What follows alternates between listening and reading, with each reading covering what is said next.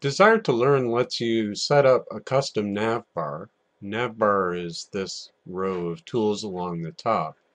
So you can actually add tools here and it will also let you set up a custom home page. So this is the home page with widgets added to it.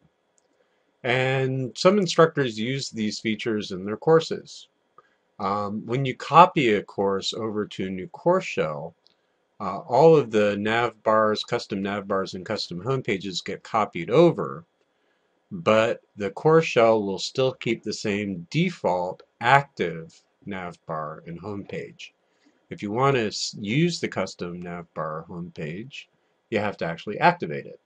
So to do that, we're going to go to Edit Course, and uh, nav bars are under Navigation and Themes, and you'll see the ones in black are the standard default ones. You'll also see that there are a couple of uh, custom ones. So you'll see there's a number of custom nav bars on this one. Um, there's a copyright course nav bar. Let's take a look at that. So you'll see there's the list of links along the top, um, which basically has uh, the same ones as the regular class.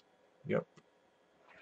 Um, but I can also add one. So for example, if I want to add, um, say an accessibility link here. So a link to PCC's accessibility resource page.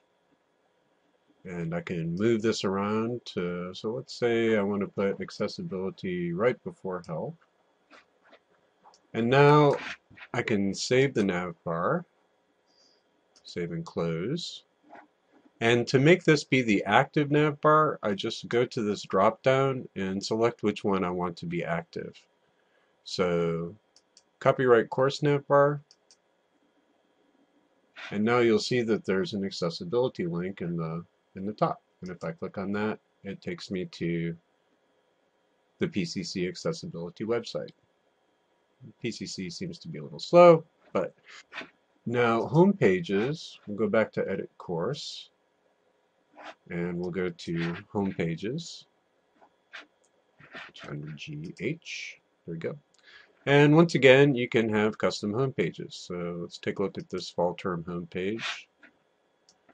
And uh, so this is basically the layout of the regular home page with updates at the top and news items at the bottom. And then um, on the right hand side, manage course calendar role switch.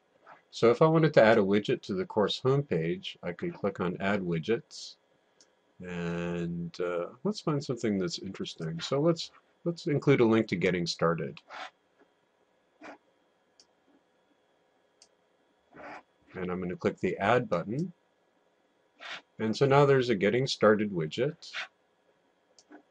And if I save and close, and then set my active homepage, go back to course home, you should see there's a getting started widget on the course homepage.